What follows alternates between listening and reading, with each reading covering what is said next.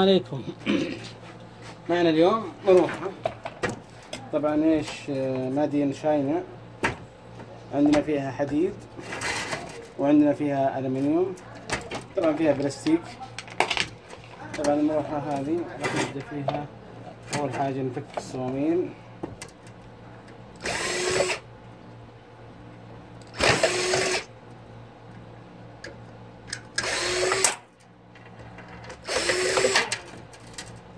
هذه المروحة جت سهلة.